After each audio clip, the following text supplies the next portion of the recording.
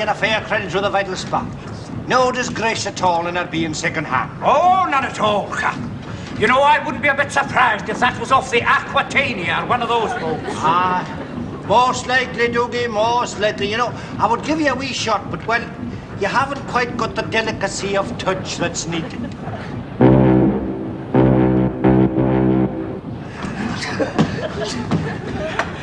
Suppose the next selection will be gems from the Maid of the Mountains, eh? Horse yourself down here, just come up for a breath of air. No, I've come up to tell you to stop playing with that whistle. You've been blowing the damn thing all the way back to Tobermory. Aye, Jove, it's a bad day when engineers think they can give orders to the captain on the bridge. Aye, and it's a worse day when the ship's officers start behaving like bairns simply because they've got a new second-hand whistle. Bairns, eh? Did you hear him, Dougie? You are a witness to that man's insubordination. It's a fair disgrace, Captain. After you buying it with five paper pounds out of your own pocket, too. There were other things this vessel need apart for that. There was nothing wrong with the old whistle. Ah, my job, you listen to nothing wrong with it. You couldn't, you couldn't hear it above Sonny Jim's snoring.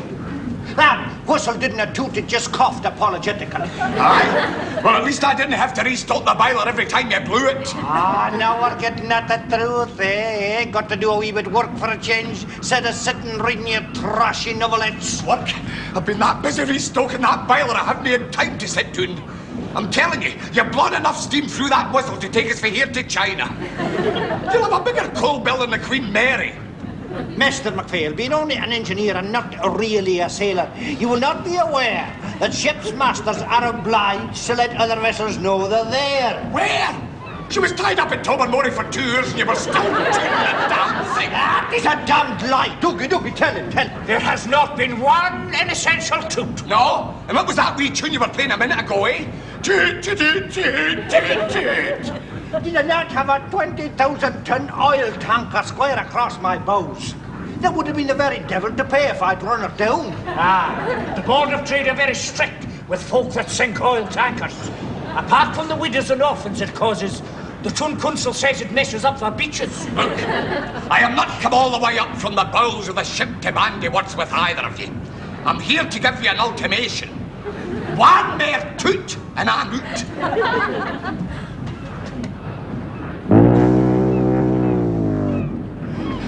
That's it. I'm out. Oh, no, Dan, no. There's a limit to everything. A man with your qualifications doesn't have to put up with insults like that. aye, aye, Sonny Jim. So you've come down to say ta-ta. Well, as a matter of fact, the captain sent me down. Typical, typical. He wants me to stay, but he's not man enough to come down and apologise to me in person. No, he has to send the common deckhand to do it for him. Not exactly. He said I was to watch that he didn't steal anything. He said what? Half the stuff in here's mine to begin with. Aye. That tea caddy there with a picture of Rabbie Burns on it was sent to me all the way from Hong Kong. Remember? Aye. Aye.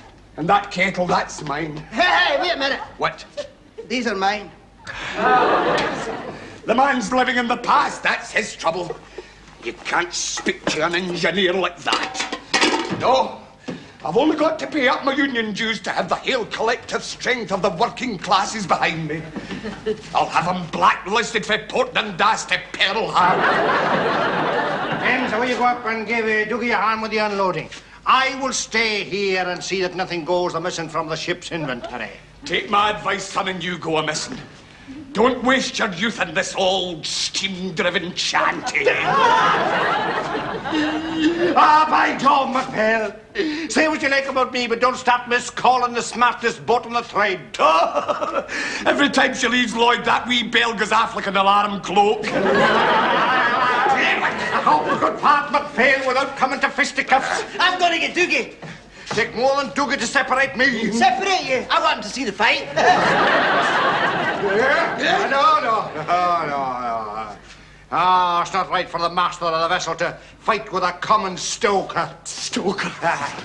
And a Glasgow one of that, not a word of Gaelic in your mouth. I'll have you know that I am a certificated tradesman. And I have seen your certificates. Oh, aye. One's for singing in the BB choir, and the other is a warning from the sanitary. You've been interfering with my personal effects. You think I didn't know, eh? Oh, it's you'll be sorry to leave a fine job like this to become an unemployed mass. Is that so, eh? Well, for your information, engineers of my caliber are snapped up by the luxury cruise boats the minute they set foot ashore.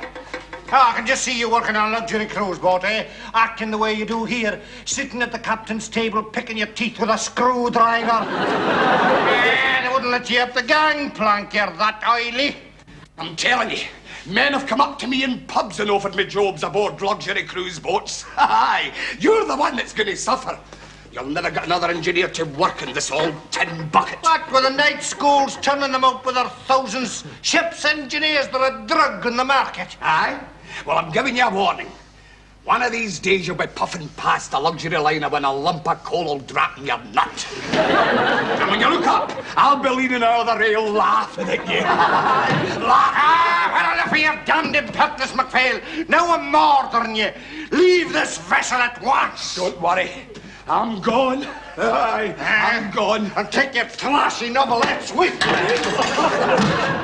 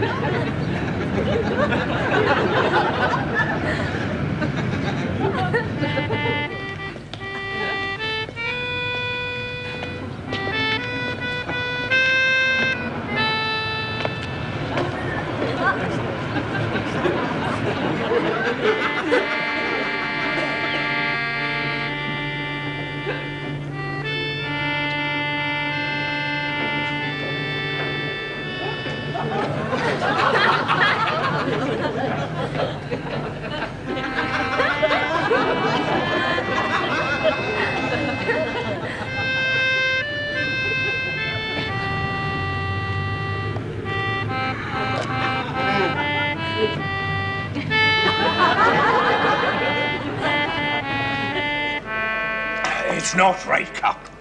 We've been stuck here in port for more than a week, and all for want of an engineer. You should never have spoken so rough to Dan McPhail. Oh, I had to make an example of him, Dougie. Well, the next thing, Sonny Jim here would have been flouting my authority. Aye, that's right, Dougie. I've got a wild, violent streak in me that's just waiting to come out. It's certainly taking its time.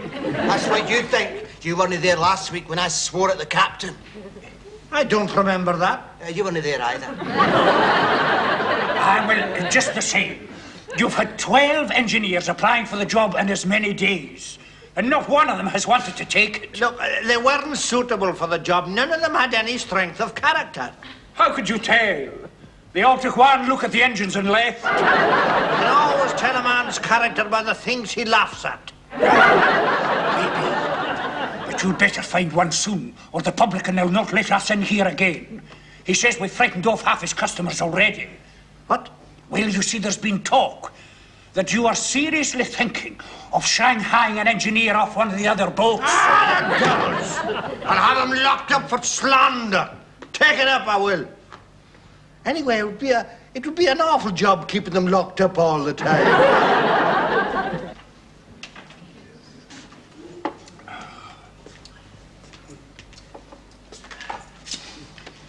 It is, Dan. Dan, it's yourself, is it not? Aye, aye, it's me. Dougie, Huh? Sonny Jim, Dan. Captain. Mm-hmm. Well, now, I'd, uh, I'd offer you a drink, but I've just changed all my money into pesetas. Potatoes? Pesetas! I'm off on a cruise to Rome on Tuesday. Aye, you got yourself fixed up then, eh, Dan? Ah, no bother. It's just a matter of signing on at the appointments bureau. Half pint. They did the rest. That was quick, eh, Dan? Aye. Mind you, I could have got a tanker or something like that straight away, but they didn't want to waste me. Oh, it's as well not to be too hasty, Dan. Mhm. Uh, what line did you say it was? Uh, Line, uh, ah, well, no, it's a new line. You'll, you'll know I've heard it. No, it's, it's boats don't sail for the Clyde, you see. No, it's, uh, it's the Majestic line. No, no, I can't say I've heard of it. No? Ah, well, you can always tell their boats by their gold-plated funnels. Did you not try Cunard, or the P&O lines? Oh, naturally, yes. And they put in their offers, but, uh, well, no, the Majestic line had the best superannuation scheme. They'd just done up my private cabin in Bird's Eye Maple. You, you've made the wise choice, Dan. There's no doubt about it. Bird's eye maple, eh? We'll be very chirpy in there, eh, darling? ah, well, well, I'm glad you're fixed up, yes. How's the new engineer? Ah, well, uh, I just haven't made my final selection yet. You mean two or three have applied? Oh, Don, I mean, there have been that many applicants for the job, we haven't been able to move out of port for a week. Still, I managed to cut the short list down to 12. Twelve? Ah, you know, Dad, it's a revelation to me how many middle-class mothers want to send their boys to the coasting trade. Boys?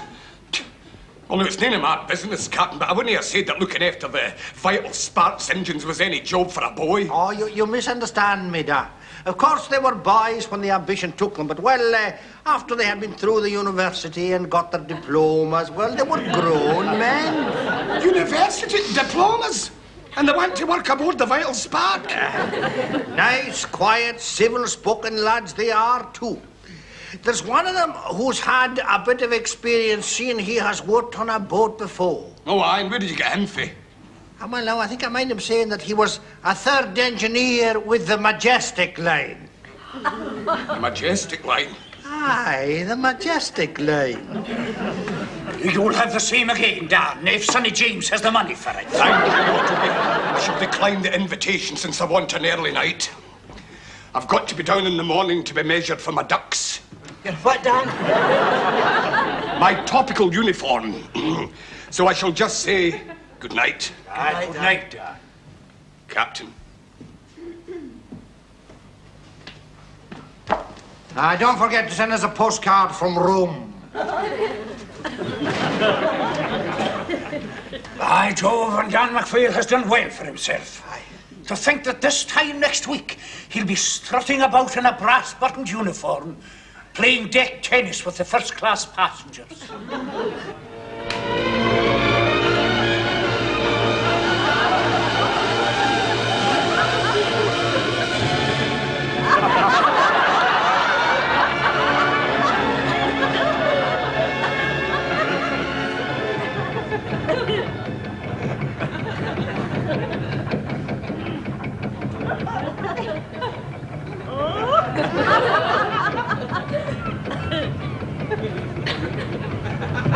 Fares, please.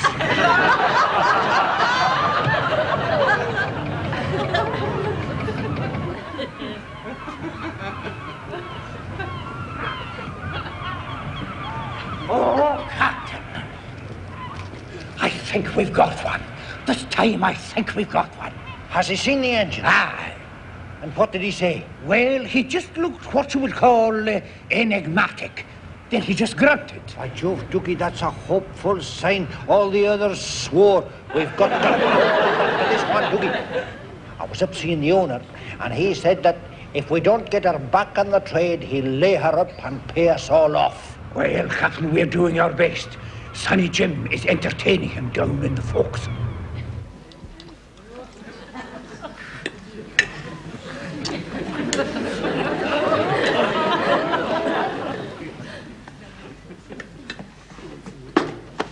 Thought you said there was pudding. I plumb duff. You had that. Do you not mind? It was just before the grilled kippers and just after the bacon and eggs. Do you not fancy a wee chocolate biscuit, Mr. McCluskey? Oh, no, no, thanks, son. It would give me indigestion. well, I suppose that'll just have to see us through till we get my tea. Hello there, Admiral. Ah, here. Ah, well, uh, welcome aboard the Vital Spark, smartest boat in the trade. Aye. Oh, Joe, it's a man's life you've picked, full of interest and adventure and foreign travel. What's the money like, Admiral? Well, now, uh, I'm glad you asked me that. It's uh, Aye. a, a man's life you've picked. I'll be requiring three weeks paid holidays. Oh, please yourself, Mr. McCluskey. But you'll not want them, I'm telling you. No, no, it's just one long holiday from start to finish. If Billy was here, he would tell. Sure, the last man we had, we had to maroon him on the Cloch Lighthouse for ten days to make him take a holiday. And you see, it's the holiday towns we take the cargoes to. Cargoes? Aye. Oh, but I've got nothing to do with cargoes. No, no, develop it. No, you just confine yourself to the light duties like stoking the boiler and loading cement bags. Oh, hey, hey, don't fancy that. I mean, I'm not that robust. Oh, well, uh, you can forget about the cement bags, and as for the boiler, well, uh, well, when the last man we had was feeling a bit tired, he would just shout up the tube, and me and Dookie would be down to help him like a flash. No, I don't know. I mean, it's all... I'll tell you what, Admiral. I'll give it a try. Oh, by Jove, it's a man's life you've picked, full of interest and adventure and, and, and, uh, and foreign. Just one wee matter, Mr. McCluskey. Not that I'm asking you for references, mind you, but, well, if you could just kind of casually mention some of the other boats you've worked on. Me, I've never been a boat in my life. But you said you were an engineer. Well, I'm an engineer. My last job was with a corporation. I was a maintenance engineer. On the sewage pumps. Ah, but, uh, I mean, uh, that's not quite the same thing as being a ship's engineer. Ah, let me tell you a wee secret, Admiral. This is a wee trade secret. Engines is engines. Doesn't matter what kind of engines. Ah, but ship's engines is ship's engines. Ah, but I've got an infallible system for getting to know any engine I'm asked to work on. I just take it to bits and put it together again.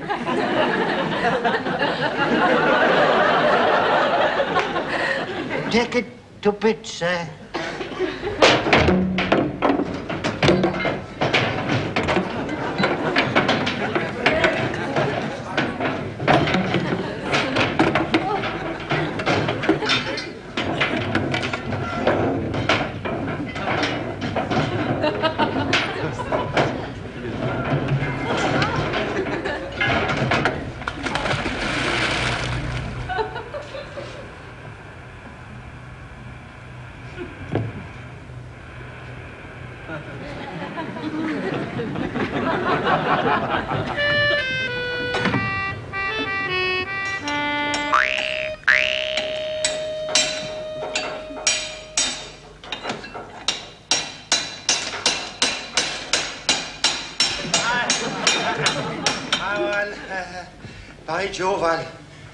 Say this for you, you, you're a worker. I think I've got it licked, Admiral. I think I've got it licked. There is not a bolt or a screw in that engine that I don't know. Uh, and the fish have a nodding acquaintance with some of them too. Don't bother about them. I was going to fling them away anyway. Just fancy trimmings. Any engine that I'm asked to work on, I want to get it stripped right down to bare essentials. Ah, well, you see, it's just that the, the last man we had, uh, I think maybe you and I better come to the understanding, Admiral. We'll have no more chat about the last man. Because either I am the engineer in this boat, or I'm not. Ah, Mr. McCluskey, you are. Just that I was wondering uh, when you were going to put the engine together again. Oh, now that I've got the hang of the thing, oh, it'll only take us about ten minutes. Know, I really have worked up an appetite. Well, I'm sure Sonny Jim could run out and get you a, a meat pie. You could eat it while you were working. A meat pie? I'm getting home for my tea. What, what, what about the engine, eh? sir? Hey, hey, Mr. McCluskey. Hey. Come on, tea. Hey. Yes. Hey, you can't go for your tea just now. Ah, hey, man. You've eaten every bite of food in the boat. You'll have to come and fix the engines.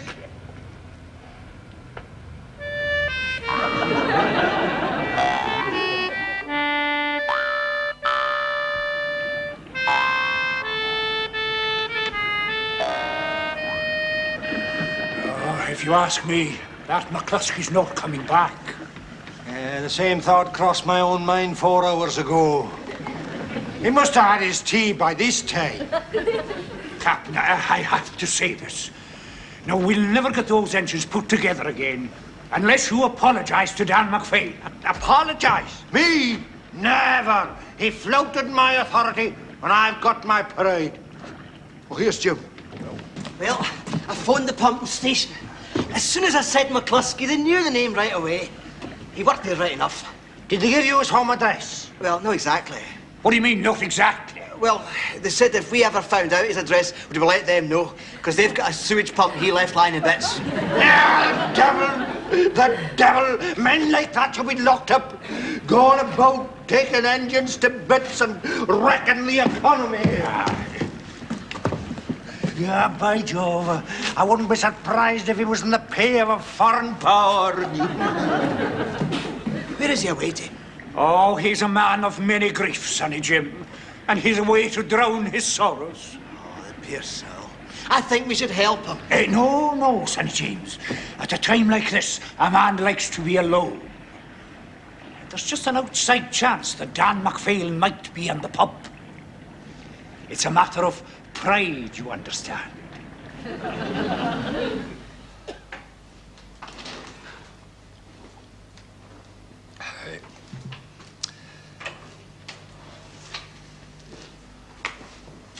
Hi, Don. Back from your Mediterranean cruise, eh? Aye. By Jove, that was quick seeing you only left on Tuesday, eh? Ah, you know, the Commodore of the line was saying as much to me. McPhailey says you fairly make this boat shift like the hammers. More of an excursion than a cruise, eh? Aye. Just to get my horn in, so to speak. Ah, well done. Fine see you standing there, bronzed by the Mediterranean sun. Eh, what kind of weather did you have? Oh, much the same as you've been getting yourself. And uh, how did you get on with the passengers? A very nice class of people, you know. Very nice indeed. I, uh, know that I'd much to do with them, mind you. No, they'd just be on and off, eh? ah, well done. I'm glad you enjoy working the luxury cruise boats. Oh, well, no, I, wouldn't just call it work. No, it's uh, mere of the push-button stuff, you know. Have you got an engineer yet? Ah, well, eh, it was a difficult choice, Dan, a difficult choice. But uh, I've taken one young lad on on probation. Probation? Aye, uh, he's just uh, qualified with a string of initials after his name. ah. Awfully educated he is. Knows all the Latin names for things like engine oil. Captain, uh, I think it's time I tell you the truth about the luxury cruise boat. What? please yourself, Dan. Please yourself. Well, now, to be, to be quite honest and frank with you, Captain, it's... It's the women. The women. What women? The female first-class passengers. They'll no leave me alone. You tell me that now. Aye. You see, it's the glamour of the uniform that gets them. And the ones with the titles are the worst. Oh, I've heard some of these titled women can be gay curs. You know, the other night I was sitting in the boat's cocktail lounge, sitting a black and tan. I was just smoothing the crease out in my white ducks when one of them came over and sat beside me. Captain, she. She put her hand on my knee. Oh, the devil, eh? Oh, I, I daren't tell you anymore. Oh, no, no, Dan, I don't want to hear it, eh? Oh, by Jove, not the sort of thing you would get in Tobermory. No. you see, the trouble with me, Captain, is I'm. I'm what a novelette would describe as dangerously handsome. Just what I was saying to Dougie, my very words, Dan. Aye, all good looks is a curse. Should think yourself fortunate, Captain. Aye, maybe so, Dan, maybe so, but, uh, oh, well, well, I tell you, I've got my own problems. Now, this young lad who's working the engines, oh, now, he's a first-class engineer, no doubt about that. He's very cheeky. What? He's got a rough tongue, Dan. He doesn't cheat back to you, does he? Oh, by Jove, he does. He swears at me in Latin and Greek. He's fluent in both. That's a disgrace. I mean, just because he's educated, he's got no right to cheat the captain just because he's not. And I'm thinking, you know, Don, I'm thinking he's too enthusiastic about the job. Yeah? He's always stoking up the boiler, building up the steam pressure. You know, the other day I blew the whistle and damn me, did the bloomin' thing not fly off and hit a chartered accountant that was rowing past? and then the bloomin' thing sank to the bottom of the river. Oh, the shame. and after you paying all that good money for it. Still, you know, it's that boy's cheek that gets me. I mean, that thing's kind of all right with uh, old friends, men who've been shipmates for years. I mean, then you can stand a bit of light-hearted banter, eh?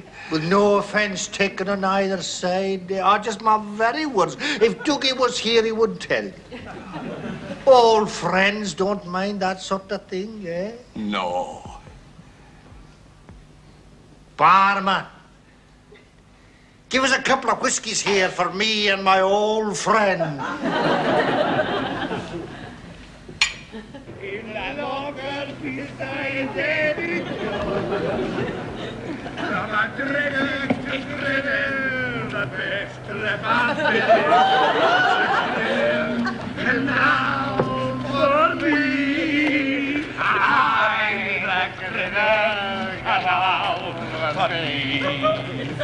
don't like the wild agency. The big foaming breakers would give me the shakers. The Crinan Canal for me. Well, there she is done. Ah, she hasn't changed a bit, Cat. Not a bit. She's lovely. I'll just away aboard and have a wee look at her.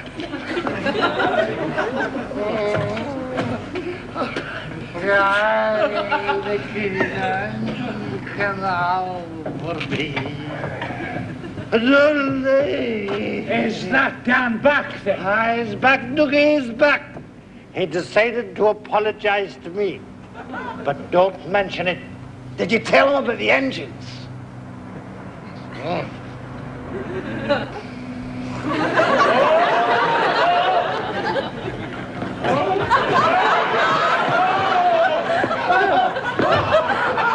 my engines! What have you done to my engines?